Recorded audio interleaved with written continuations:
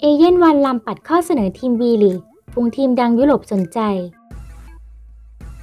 สื่อเวียดนามตีข่าว เอเย่นต์ส่วนตัวของดังวานลัม นายด่านดีกีทีมชาติเวียดนาม ปฏิเสธข้อเสนอโฮจิมินห์ซิตี้ทีมดังของวีลีกที่ให้ความสนใจพร้อมยื่นข้อเสนออย่างงามให้กับดังวานลัมพร้อมฟุ้งในเวลานี้ นักเตะในสังกัด มีทีมดังในยุโรปสนใจคว้าตัวไปร่วมทัพ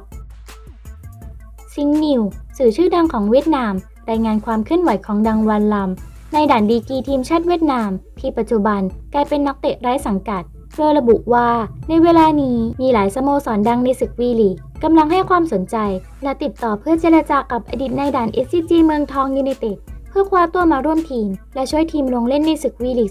2021 พร้อมรายงานเงื่อนไขสัญญาที่น่าประทับใจ ที่เสนอให้กับนายด่านดีกรีทีมชาติเวียดนาม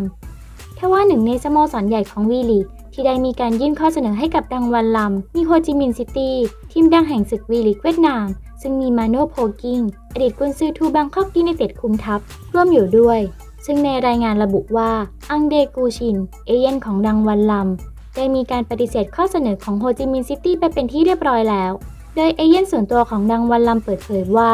ผมกำลังมีการเจรจากับสโมสรต่างประเทศที่ต้องการตัวเขา